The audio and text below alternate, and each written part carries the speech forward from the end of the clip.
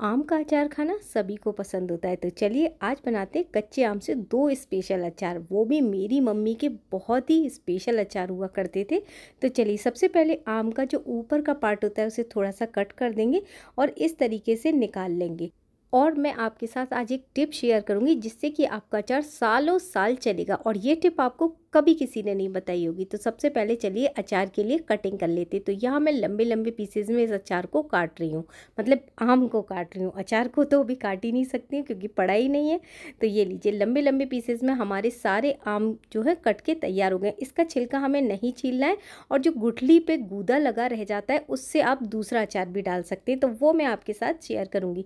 तो सबसे पहले हम यहाँ नमक डाल देंगे। नमक जो होता है वो प्रिजर्व करने का काम करता है। अचार को तो अच्छे से डालिएगा नमक। नमक और हल्दी डाल के हम इसे रात भर के लिए रख देंगे। तो मैं यहाँ रात है, रात में कट करके रख रही हूँ इनको और रात भर मैं इनको ढक के इसी तरीके से छोड़ दूँगी, जिससे कि इनमें जितना पानी होगा वो रिलीज़ हो जाएगा नमक डालने की वजह से। तो चलिए, ये देखिए हमारी हल्दी और नमक से ये कोट हो चुके हैं। अब इन्हें एक साइड ढक के रख देते हैं और करते हैं हम दूसरी चीज़ की तैयारी। तो चलिए फिर शुरू करते हैं।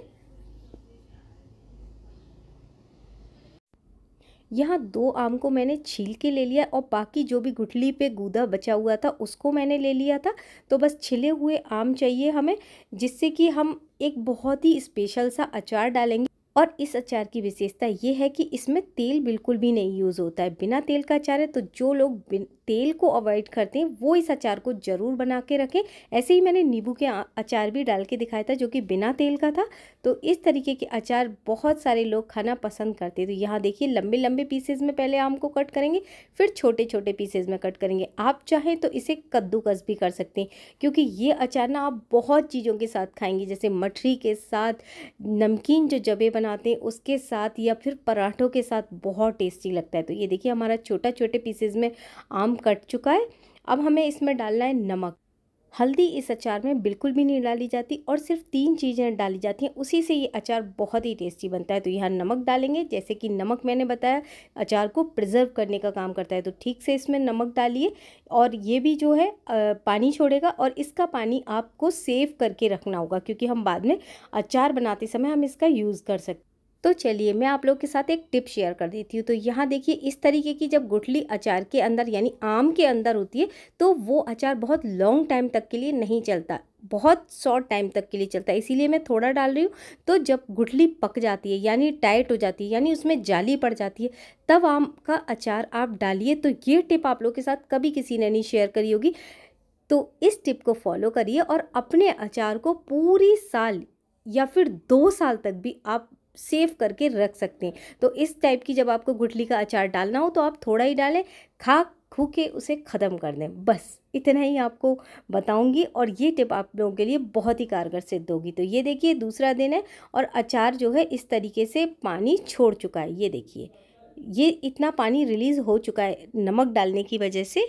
अब आम के पीसेस को मैं इस प्लेट पे निकाल ले रही हूँ और आप जब धूप में जाएँ तो इसको एक कपड़े पे अच्छे से फैला दें, जिससे कि इसमें जो भी पानी होगा वो बिल्कुल ख़त्म हो जाएगा। और इसको भी मैं एक प्लेट पे निकाल ले रही हूँ और जो जिसमें हल्दी नहीं पड़ी है उसके पानी को हमें बचा के रखना है। बाकी जिसमें हल्दी पड़ी है उस पानी को हमें बिल्कुल भी बचा के नहीं रखना है। तो चलिए अब इस अचार को हम धूप में सुखाने के लिए चलते हैं।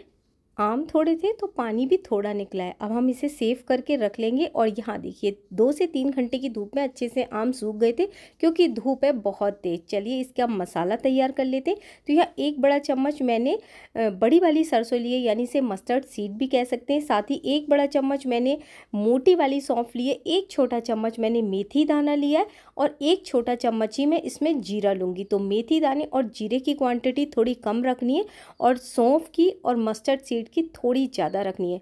पाँच से छः मैंने लाल मिर्चें ले ली हैं सूखी वाली। अब इनको हल्का सा भूनना है। कलर चेंज हो जाए, ऐसा नहीं भूनना है। हल्का सा भूनेंगे जिससे कि अच्छे से पिस सकें और इनमें एक फ्लेवर भी आ जाएगा। तो बस अब इसे डाल लेंगे जार के अंदर और दरदरा सा इसे पीस लेंगे। बिल्कुल ऐसा। चलिए अभी दिखाती हूँ पीसने के बाद आपको।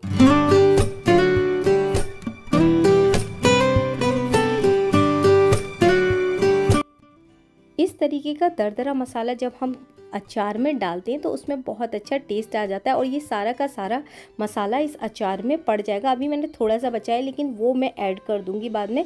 अब कुछ ऐसे मसाले जिन्हें भूनना नहीं है तो उसमें हल्दी, लाल मिर्च पाउडर। कलर के लिए आप कश्मीरी लाल मिर्च भी डाल सकते हैं थोड़ा सा नमक डाल देंगे और फिर है कलौजी। तो इससे भी बहुत अच्छा टेस्ट आता है। कलौंजी आप आम के अचार में ज़रूर ज़रूर डालें। और यहाँ आप सूखी लाल मिर्ची भी इसमें ऐड कर सकते हैं। तेल को मैंने पहले से गर्म कर लिया था और ठंडा कर लिया था। और ये मस्टर्ड ऑयल है, आप अचार में मस्टर्ड ऑयल ही डालें, उसी से बहुत अच्छा टेस्ट आता है। अब अचार को अच्छे से मिला देंगे, एक जार में भर के अब इसे दो तीन दिन धूप में रखेंगे और बस इंजॉय करेंगे। और दूसरा जो अचार है, वो है हमारा हींग का अचार। तो चलिए, मैंने उसी जार में डाल दिया है, जिस जार में पानी रखा था। अब इसमें हमें डालने कुछ मसाले और ये बहुत ही झटपट बन जाता है। यहाँ डालेंगे हम लाल मिर्च, तीखी वाली और साथ में डालेंगे हींग। हींग जो है वही इस अचार की रानी है। तो इसका मतलब इसका मेन इंग्रेडिएंट हींग है। तो हींग आप एक छोटा चम्मच जो खाने वाली चम्मच होती है, उसे भर के डालें।